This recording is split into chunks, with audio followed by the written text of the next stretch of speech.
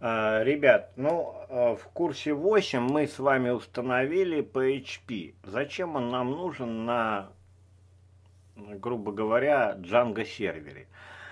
А, ну, во-первых, в учебных целях мы будем ставить два сервера баз данных. Потом вы уже выберете в будущем. Мы будем ставить и MySQL сервер, и Postgres да, сервер хотя предпочтительно Postgres. Но ведь у многих сегодня еще на MySQL, да, а, кто-то хочет перейти. Поэтому надо запланировать, научиться перевод баз данных.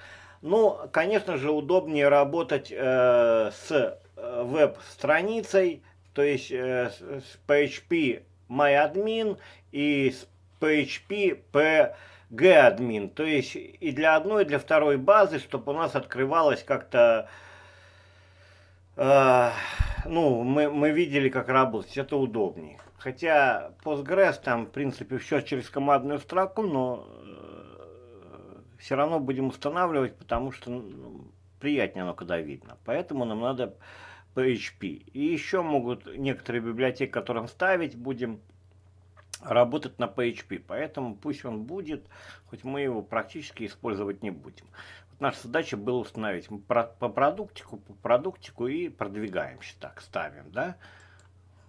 Обращаю внимание для тех, кто начал с этого курса, э, опис, э, этот, курсы, сейчас,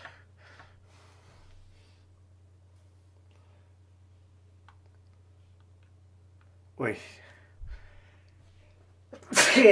спасибо, это, э, начинать надо с spb-tut.ru. Тут есть и э, Python с нуля, и в Django въедете. В общем, спокойно-спокойно работаем.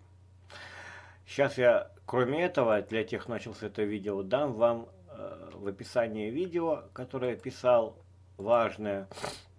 Потому что приходят люди в школу и говорят, мы не знаем, с чего начать. И я дам вот это вот видео. Живая мощная методика, как изучать языки программирования с нуля железно успешно. Видео длинное, но я рассказал, в принципе, что и как делать.